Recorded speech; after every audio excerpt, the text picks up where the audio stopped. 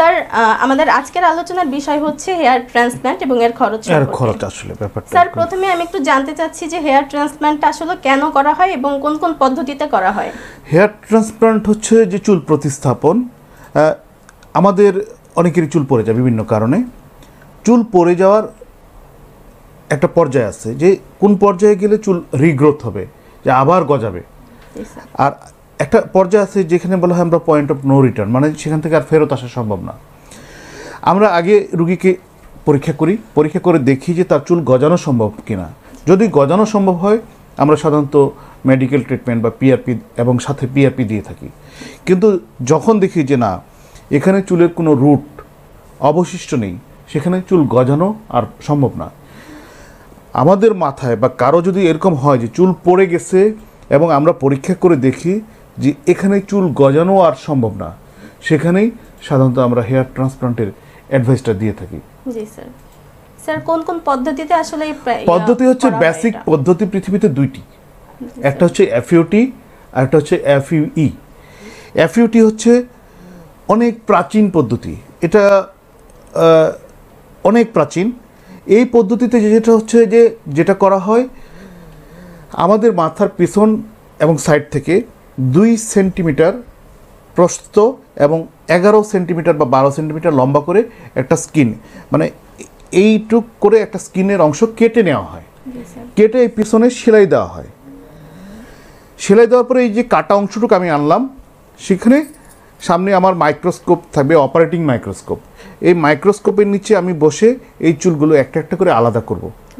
করে প্রতিস্থাপন করব। এটা অনেক প্রাচীন পদ্ধতি এবং অনেক বছর যাবত এই পদ্ধতি পৃথিবীতে চলে আসছে। কিন্তু রিসেন্ট যে পদ্ধতিটা হচ্ছে, সেটা হচ্ছে অনেকটা সেফ পদ্ধতি। এই পদ্ধতিটা হচ্ছে এফইউই এখানে যেটা হয় যে, এরকম লম্বা করে কোনো কাটার দরকার নাই, কোনো সেলাইয়ের দরকার নেই।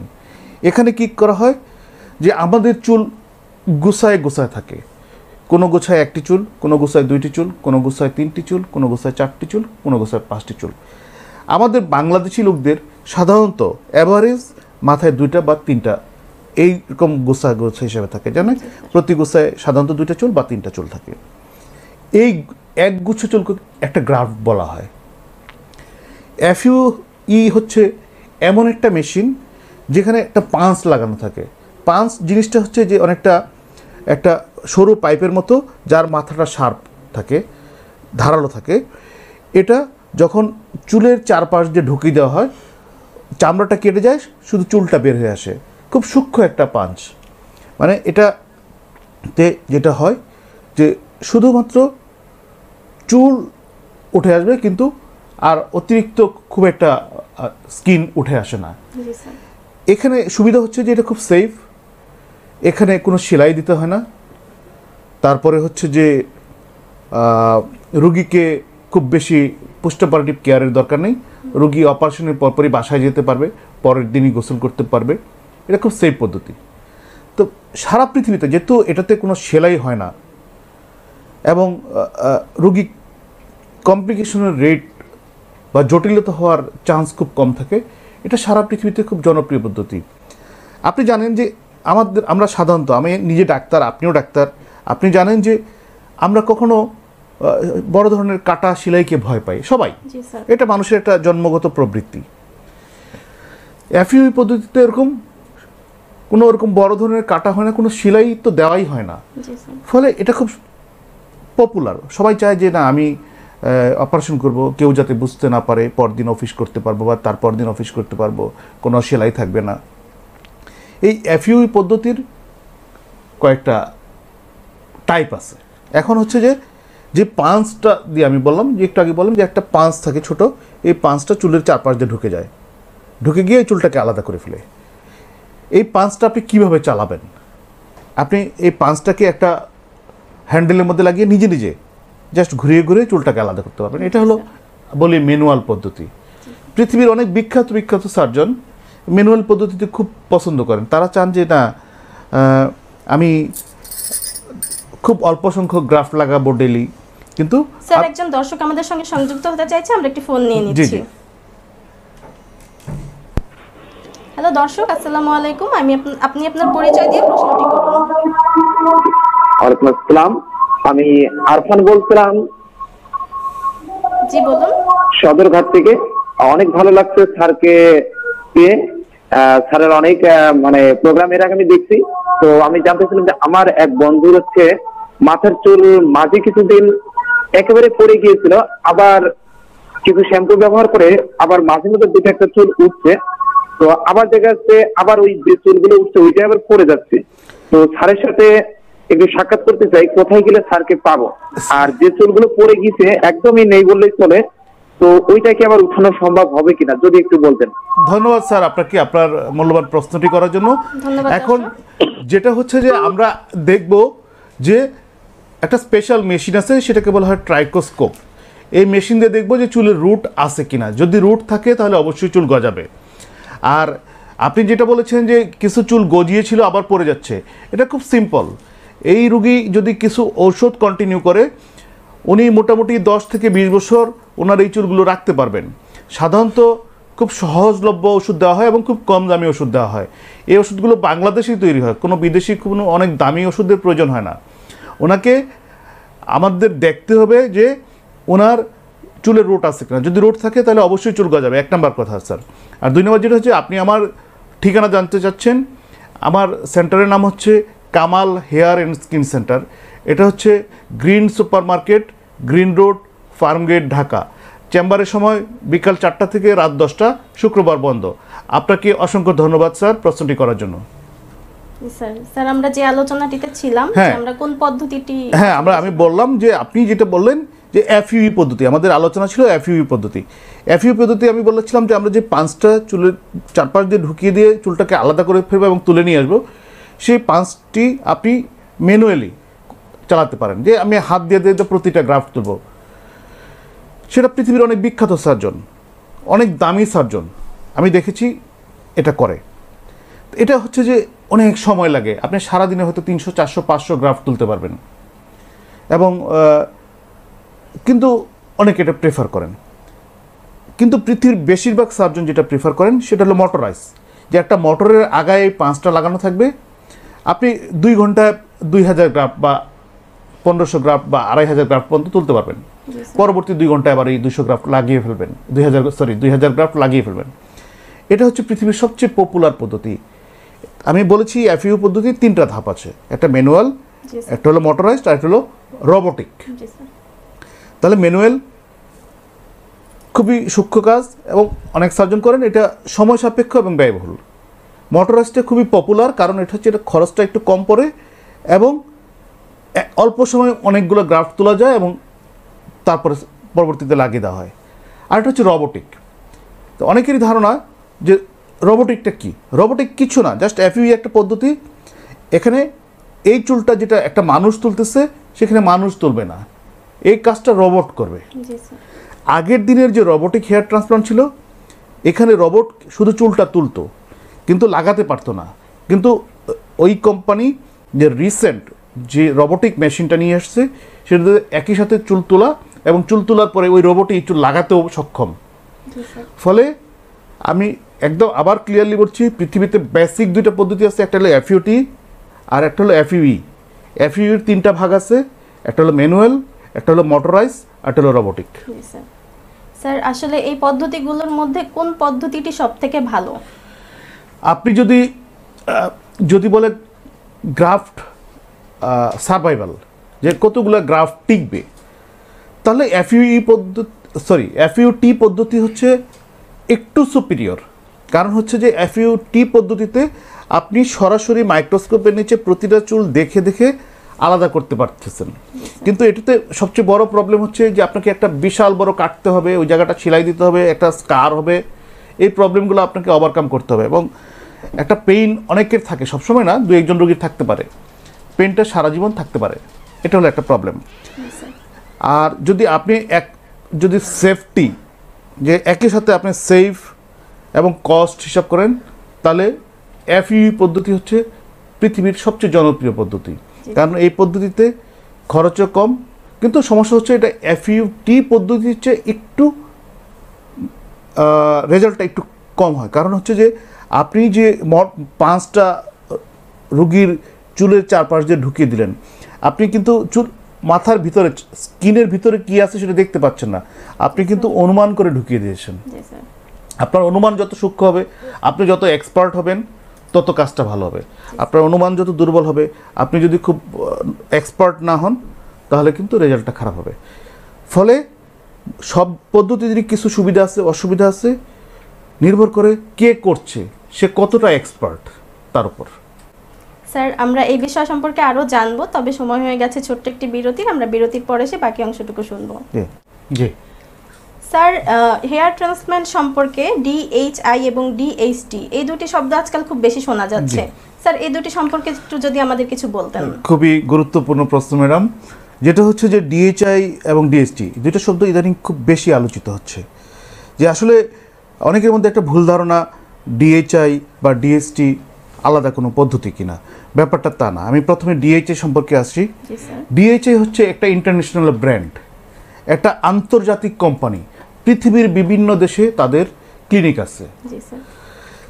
তারা হচ্ছে যে অনেক বছরের পুরনো একটা প্রতিষ্ঠান যেমন কেএফসি একটা ব্র্যান্ড যে আপনি যদি কোনো একটা বার্গার বা চিকেন রিলেটেড কিছু খেতে চান আপনি নিশ্চিন্তে কে কেএফসির উপর নির্ভর করতে পারেন। না মিনি একটা মিনিমাম একটা কোয়ালিটি তারা মেনটেন করে। এরকম ডিএইচআই সারা পৃথিবীর একটা বিশ্বস্ত ব্র্যান্ড এটা কিন্তু আলাদা কোনো পদ্ধতি না। এফইউ টি বা এফইর বাইরের কোনো পদ্ধতি পৃথিবীতে এখনও রিকগনাইজড না। ডিএইচআই একটা ব্র্যান্ড ভ্যালু স্যার একজন দর্শক আমাদের সঙ্গে সংযুক্ত হতে চাইছেন একটি ফোন নিয়ে নিচ্ছি। হ্যালো আসসালামু আলাইকুম দর্শক আপনি আপনার পরিচয় দিয়ে আপনার প্রশ্নটি করুন। ওয়ালাইকুম আসসালাম আমি আলমগীর কবির বলছি বগুড়া থেকে। জি স্যার বলুন। আমি আপনাদের প্রোগ্রামটা এখনই দেখছিলাম আমার ফোনে তো আমার একটু আপনাদের আমার একটু স্যার- স্যারের কাছে একটা কোশ্চেন ছিল যে জি স্যার বলেন। এই আমার মাথায় চুল একেবারেই নেই।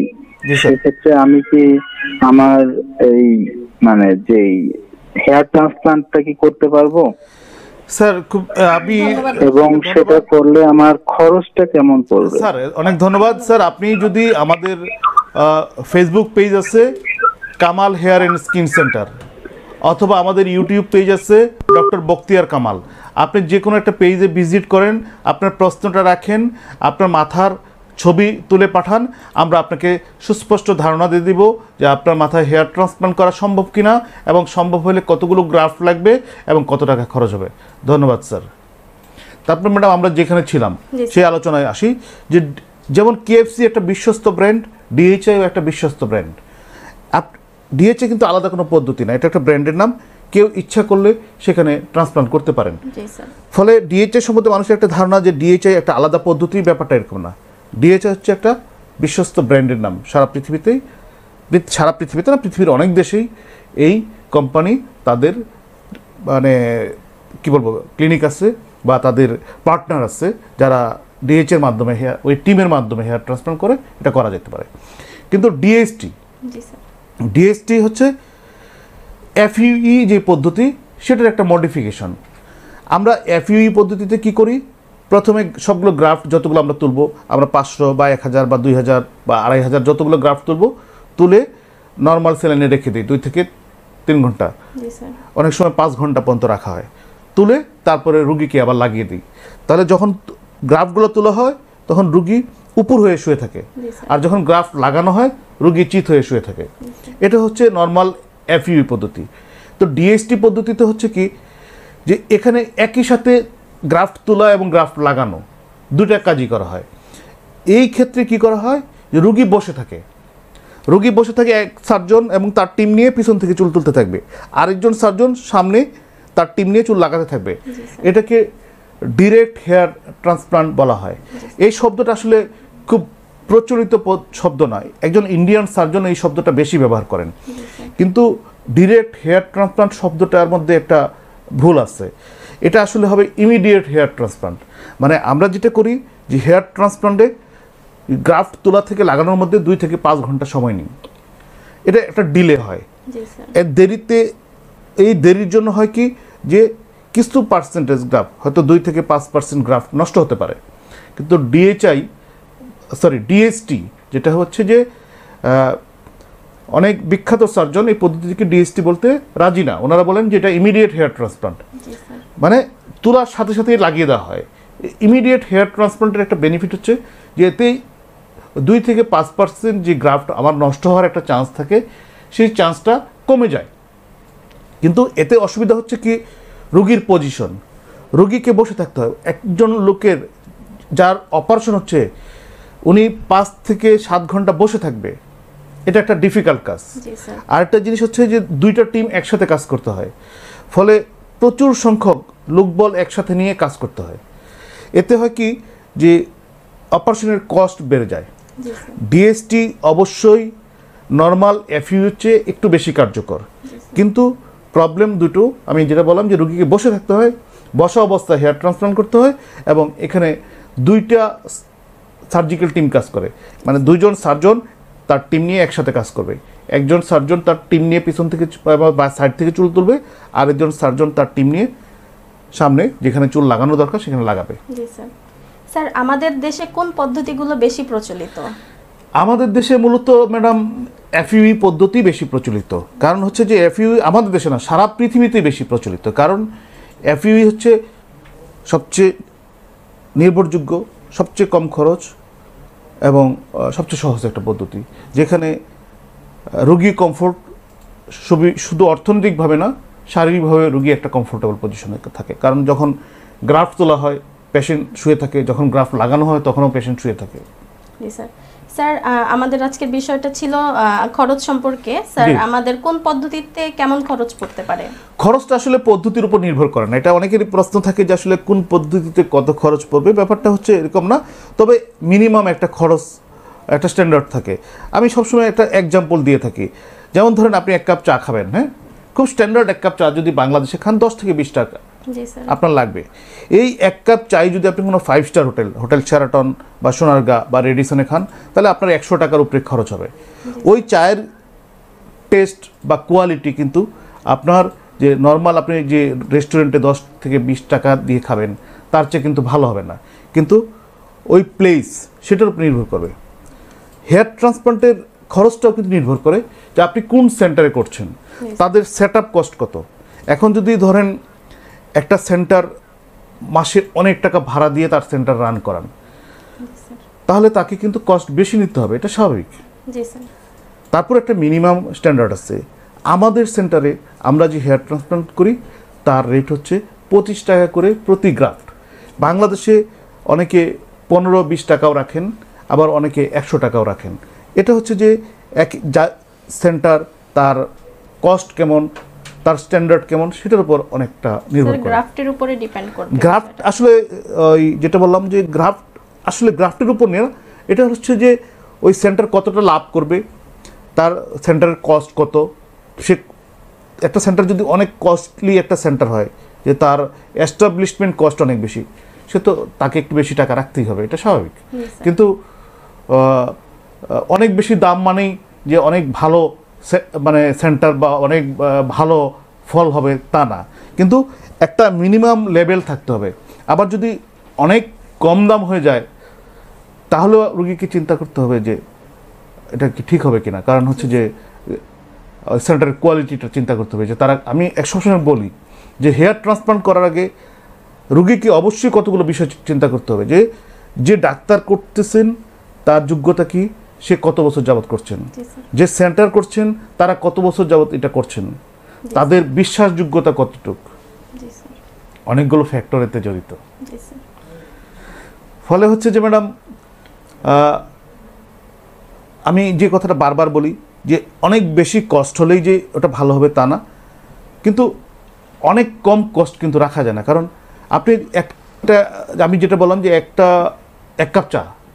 স্ট্যান্ডার্ড এক কাপ চা খেতে গেলে আপনার দশ থেকে বিশ টাকা খরচ করতে হবে। এখন কেউ যদি বলে যে আমি দু টাকা কাপ চা দিব তাহলে ম্যাডাম আপনাকে তিনবার চিন্তা করতে হবে যে আসলে দুই টাকা আচ্ছা। কাপ চায় আপনি কি পাবেন?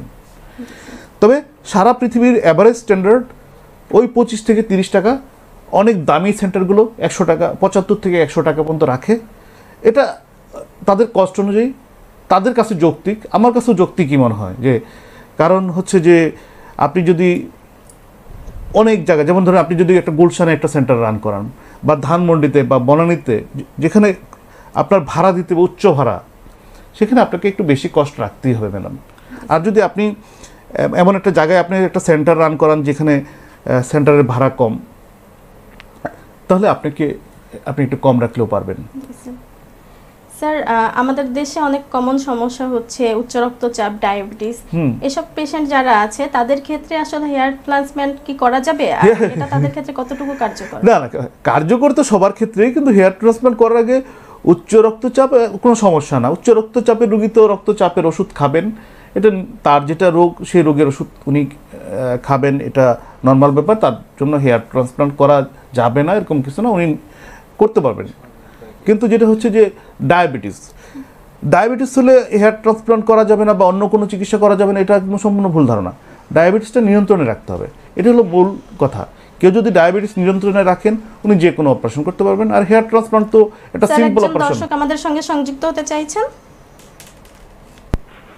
আসসালামু আলাইকুম দর্শক আপনি আপনার পরিচয় দিয়ে প্রশ্নটি করুন। জি আমি হচ্ছে মিরপুর থেকে বলছিলাম হাসান। জি বলুন। জি আমার কোশ্চেন হচ্ছে বক্তিয়া স্যারের কাছে। জি স্যার বলুন স্যার।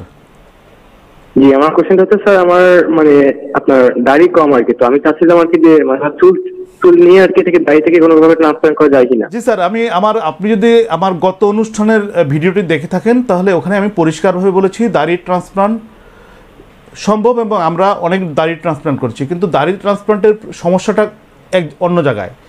যে আমাদের মাথায় যে চুল থাকে সেটা স্যার গুচ্ছ আকারে থাকে আমরা যেটাকে গ্রাফট বলি। এক গুচ্ছে আমি একটু আগেই বলেছি অ্যাভারেজ দুইটা বা তিনটা চুল থাকে।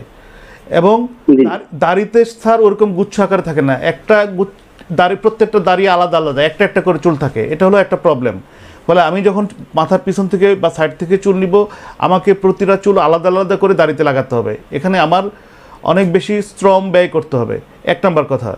দুই নম্বর কথা হচ্ছে যে দাড়ির অ্যাঙ্গেল কিন্তু খুব কম। একদম স্কিনের সাথে লাগানো। কিন্তু চুলের অ্যাঙ্গেল কিন্তু চুল কিন্তু একটু খাড়া খাড়া। এখানে থার্টি ফাইভ থেকে ফর্টি ফাইভ ডিগ্রি অনেক ক্ষেত্রে আরও বেশি ডিগ্রি নব্বই ডিগ্রি অ্যাঙ্গেলেও চুল থাকে। কিন্তু দাড়িতে sir ten to fifteen degree অ্যাঙ্গেলে থাকে। ফলে এখানে আমার এই অ্যাঙ্গেল প্রত্যেকটা দাড়ি এইরকম দশ থেকে পনেরো ডিগ্রি অ্যাঙ্গেল ঠিক করে লাগানো অনেক কষ্টসাধ্য কাজ। নাম্বার থ্রি মাথায় যখন চুল লাগাই মাথায় একটা শক্ত হাড্ডির উপর প্রতিষ্ঠিত। এখানে চুল লাগানো খুব সহজ। দাড়ি যখন লাগাই আমাদের মুখের উপর লাগাই। এখানে স্কিন টান করে ধরে এই নরম জায়গায় দাড়ি লাগানো অনেক কষ্টসাধ্য। ফলে সম্ভব কিন্তু খরচটা আপনাকে ডাবল দিতে হবে স্যার নর্মালি আমরা যেটা করি আমাদের হেয়ার ট্রান্সপ্লান্টের প্রতি গ্রাফ পঁচিশ টাকা দাড়ি লাগাতে গেলে আপনাকে প্রতি গ্রাফ পঞ্চাশ টাকা করে দিতে হবে। ধন্যবাদ স্যার স্যার ধন্যবাদ স্যার স্যার আমরা যে বিষয়টিতে ছিলাম। জি। স্যার ডায়াবেটিসে তাদের রোগীদের ক্ষেত্রে ডায়াবেটিস রোগীদের ম্যাডাম ডায়াবেটিস মানে না। এই শব্দটা অনেকের মধ্যে ধারণা। ব্যাপারটা এরকম না। ডায়াবেটিস মানে হচ্ছে নিয়ন্ত্রিত জীবন। কেউ যদি ডায়াবেটিস নিয়ন্ত্রণে রাখেন সে সব কিছু করতে পারবেন। ডায়াবেটিস যে প্রচলিত ধারণা যে আমার ডায়াবেটিস আছে আমি কিছু করতে পারব না ব্যাপারটা এরকম না। ডায়াবেটিস রোগী সবই করতে পারবেন। শুধুমাত্র ওনার ডায়াবেটিসটা নিয়ন্ত্রণে রাখতে হবে। এবং ডায়াবেটিস নিয়ন্ত্রণে রাখতে গেলে সবচেয়ে বেশি জরুরি যেটা যে ডায়াবেটিসের ডাক্তার যে উপদেশগুলো দেয় আমাদের দেশের মানুষ যেটা করেন ওষুধটা খান কিন্তু উপদেশটা মানেন না। উপদেশ না না মানলে ওষুধ খেয়ে খুব একটা লাভ নেই ম্যাডাম উপদেশ খুব ইম্পর্টেন্ট কারণ নিয়ন্ত্রিত জীবনযাপনই আপনার সুস্থ জীব এবং স্বাভাবিক জীবনের সহায়ক। ফলে আপনি চুল রক্ষা করতে চান হেয়ার ট্রান্সপ্লান্ট করতে চান বা ডায়াবেটিস বা উত্তর উচ্চ রক্তচাপ নিয়ন্ত্রণে রাখতে চান আপনাকে অবশ্যই আপনার যে চিকিৎসক যে উপদেশ দিয়েছেন সেটা মানতে হবে। ওষুধটা তো খাবেনই। জি স্যার। ধন্যবাদ ম্যাডাম। স্যার অসংখ্য ধন্যবাদ স্যার। আজকে আমরা হেয়ার ট্রান্সপ্লান্ট সম্পর্কে অনেক কিছুই জানলাম। স্যার দেখতে দেখতে আমরা একদম অনুষ্ঠানের শেষ পর্যায়ে চলে এসেছি। স্যার যাবার আগে রাজ টিভির দর্শকদের উদ্দেশ্যে যদি কিছু বলতেন। রাজ টিভির দর্শকদের উদ্দেশ্যে আমি আগেও বলেছিলাম যে একটা কথা যে আপনি যদি হেয়ার ট্রান্সপ্লান্ট করতে চান স্যার আপনাকে কয়েকটা জিনিস মাথায় রাখতে হবে। অবশ্যই কারণ এটা সার্জারি। এটা ইরিভার্সিবল আপনি একবার চুল লাগালে ওই চুল কিন্তু আবার ওখান থেকে তুলতে পারবেন না। পারলেও চুলটা নষ্ট হয়ে যাবে। ফলে আপনাকে করার আগে অবশ্যই ভালোভাবে চিন্তা করবেন যে আপনি কোথায় করছেন, কোন ডাক্তারের কাছে করছেন, কোন প্রতিষ্ঠানের কাছে করছেন, তাদের সুনাম কি, তারা কত বছর যাবৎ করছেন। কারণ যেটা হচ্ছে যে আপনি হয়তো খরচের কথা চিন্তা করে চিন্তা করবেন যে ওই জায়গায় তো আমার কাছে পাঁচ টাকা কম প্রতি গ্রাফটে রাখবে। কিন্তু আপনার রেজাল্টটা কিন্তু সেরকম হতে হবে। আপনার চিকিৎসা পরবর্তী যে কেয়ারগুলো আছে, সেই কেয়ার ওই সেন্টার আপনাকে প্রোভাইড করছে কি না সেটাও খেয়াল রাখবেন। ধন্যবাদ।